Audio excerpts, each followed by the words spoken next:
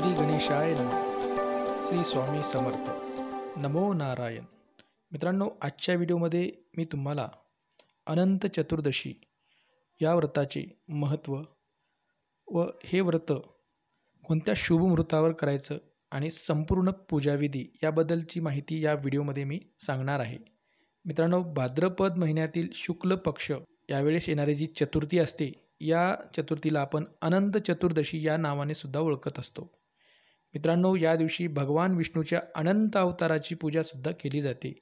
तर याच दिवशी आपल्या लाडक्या बाप्पांचे विसर्जनसुद्धा म्हणजे भगवान गणेशाचं विसर्जनसुद्धा आपण याच दिवशी करत असतो. म्हणून या दोन भगवंताच्या पूजेचा हा दिवस यावर्षी अनंत चतुर्दशी एक सप्टेंबर रोजी म्हणजे वार मंगळवार या दिवशी आपल्याला साजरी करायची आहे. मित्रांनो हे व्रत जर सलग चौदा वर्षे केल्यास विष्णुलोक प्राप्त होते असे ग्रंथामध्ये वर्णन आहे. या दिवशी विष्णूच्या अनंत अवताराची पूजा केली जाते. त्यामुळे ही पूजा केल्याने अनेक फलदायी लाभ आपल्याला होत असतात. मित्रांनो ही पूजा सर्वप्रथम पांडवांनी महाभारत काळामध्ये केलेली होती. जेव्हा पांडव जुगारामध्ये आपले सर्वस्व धन हरून बसले होते आणि भगवान श्रीकृष्णाकडे त्यांनी यावरचा उपाय विचारला तेव्हा भगवान श्रीकृष्णाने सांगितले की तुम्ही जुगारामध्ये सर्व काही हरवून बसल्यामुळे लक्ष्मी तुमच्यावर कोपली आहे. आणि जर तुम्हाला पूर्ववत तुमचे वैभव प्राप्त करून घ्यायचे असेल तर अनंत चतुर्दशी या दिवशी भगवान विष्णूची मनोभावे पूजा केल्यास तुम्हाला निश्चितच तुमचे पूर्ण वैभव पुन्हा प्राप्त होईल असा शुभ आशीर्वाद भगवान कृष्णाने दिला. आणि मित्रांनो तेव्हापासून ही पूजा करण्याची प्रथा पडली. मित्रांनो हे व्रत केल्याने माता लक्ष्मी प्रसन्न होते व तुमच्या जीवनात पैसा सुख शांतीसुद्धा नांदत असते. तर ही पूजा कशी करावी? सकाळी लवकर ब्रह्ममृतावर उठून आंघोळ करून घ्यावी व स्वच्छ कपडे परिधान करून एका पाटावर सर् सर्वप्रथम कलशाची स्थापना म्हणजे भगवान गणेशाची स्थापना करून त्यामागे भगवान विष्णूचे आपल्याला फोटोसुद्धा ठेवायचे आहे आणि या पूजेसाठी गंगाजळ पंचामृत व सर्व पूजा साहित्य घेऊन विधिवत पूर्ण पूजा करायची आहे आणि भगवंताची आरतीसुद्धा करून भगवंताला गोड नैवेद्य दाखवायचा आहे आणि या पूजेमध्ये आवर्जून फळेसुद्धा ठेवायची आहेत. मित्रांनो अशा प्रकारे ही पूजा करून विष्णू सहस्त्रनाम भगवान विष्णूचे जे काही नावं तुम्हाला येत असतील त्या नामाचा जपसुद्धा आपल्याला या दिवशी करायचा आहे.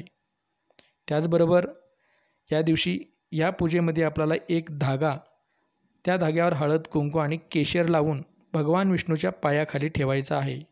आणि ही सर्व पूजा संपल्यानंतर तो धागा आपल्याला हातामध्ये धारण करायचा आहे. मित्रांनो हा धागा तुम्ही तुमच्या हातामध्ये धारण केल्यामुळे निश्चितच तुमच्या जीवनामध्ये येणारे सर्व संकटे विघ्न नाहीशी करण्याची क्षमता भगवान विष्णूच्या कृपा आशीर्वादाने या सूत्ररूपाने तुमच्या हातावर राहील. त्याचबरोबर मग एक सप्टेंबर रोजी आपण जी अनंत चतुर्दशी हा व्रत आपण साजरा करणार आहोत तर त्या पूजेचा शुभ मुहूर्त हा. पहाटे पाच वाजून एकोणसाठ मिनटापासून सकाळी नऊ वाजून चाळीस मिनटापर्यंत आपल्याला ही पूजा करावयाची आहे. मित्रांनो शुभ मुहूर्तावर कोणतेही कार्य केल्यास निश्चितच त्याचे फळसुद्धा लाभदायी असते. मित्रांनो अशा पद्धतीने अनंत चतुर्दशी या दिवशी आपणास भगवान गणेशाचे मनोभावे विसर्जनसुद्धा करायचे आहे. यामुळं आपल्यावर गणेशाचीसुद्धा कृपा होते. आणि अनंत चतुर्दशी दिवशी आपण दुसऱ्या देवाचं म्हणजे भगवान विष्णूचं सुद्धा आपल्याला या दिवशी विधिवत पूजा करायची आहे. त्यामुळे भगवान विष्णूचीसुद्धा आपल्यावर कृपा होईल आणि भगवान विष्णू तुम्हाला निश्चितच प्रसन्न होतील. जेथे भगवान विष्णूचा वास असतो तेथे माता लक्ष्मीसुद्धा सदैव नांदते.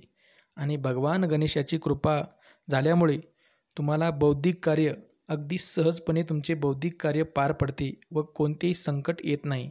मित्रांनो अशा प्रकारे अनंत चतुर्दशी हे जे व्रत आहे या दिवशी आपण भगवान गणेशाचं विसर्जन आणि भगवान विष्णूची विधिवत पूजा करून त्यांचं नामस्मरण केल्यास आणि निश्चितच ह्या दोन्ही पूजा तुम्ही मनोभावे केल्यास गणपतीचं विसर्जन आणि महाविष्णूची पूजा तुम्ही मनोभावे केल्यास निश्चितच दोन्ही भगवंताची तुमच्यावर निश्चिम कृपा होईल आणि तुमच्या जीवनामध्ये सर्व काही मंगलमय होईल. मित्रांनो व्हिडिओमधील माहिती आवडल्यास उत्सवरंग या यूट्यूब चॅनलला नक्की सबस्क्राईब करा. धन्यवाद.